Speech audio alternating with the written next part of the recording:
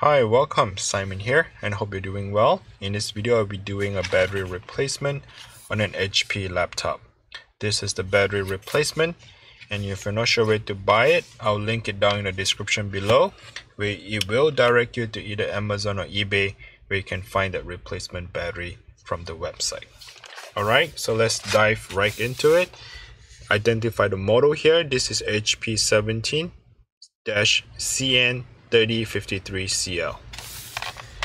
Alright, let's talk about the problem. If you have problem with holding the charge, meaning that the computer only lasted you less than 30 minutes, or maybe that the touchpad at the bottom is not clickable, or you feel like there's a lump on the touchpad, or maybe in the back of the computer, if it doesn't sit flush flat on the surface, it kind of like wobbles, then more likely the battery has swollen and pushes from the inside out. So those are the typical signs that you want to look for.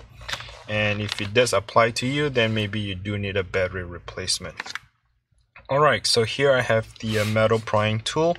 I'm going to go underneath that little rubber because we need to peel the thing off and expose the hidden screws underneath. Get a regular Phillips screwdriver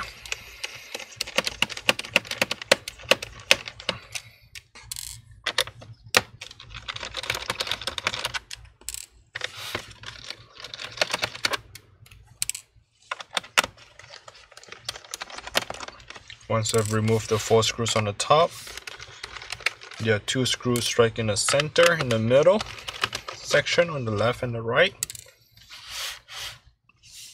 And you have two more screws here at the very bottom.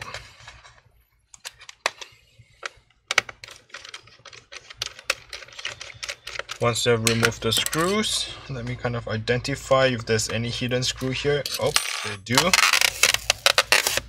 So you definitely need to peel that rubber at the very bottom as well. There are two more hidden screws here. Okay, once you've removed all the screws, the next step is to go ahead and pry open the back cover. I'll be using a metal prying tool and this is enough to go in between that gap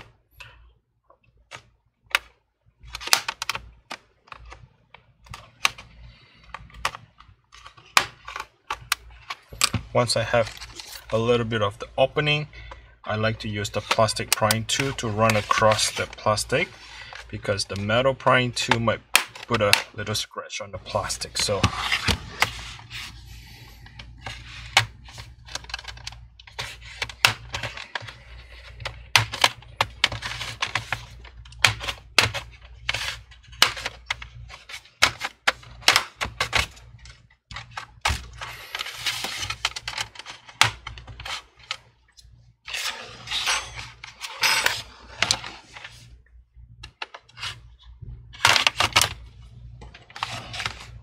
Okay, close it down. Wiggle a little bit and remove the entire back cover.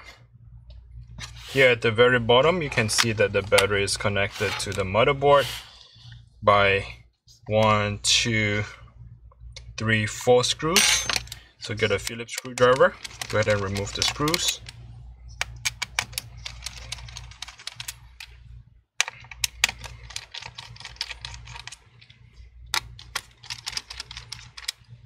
Okay, once you have removed all the four screws, should be very easy and straightforward. What you want to do is just lift up the uh, battery like such. And to install, just leave it back in. And there you have it. And make sure you have all the four screws to go back into the battery, as well as the back cover. Close it up, and all the screws to go back in, and you should be all set. Very straightforward easy. And again uh, check the link down description below. I'll link it to either amazon or ebay. Where you can find a replacement battery.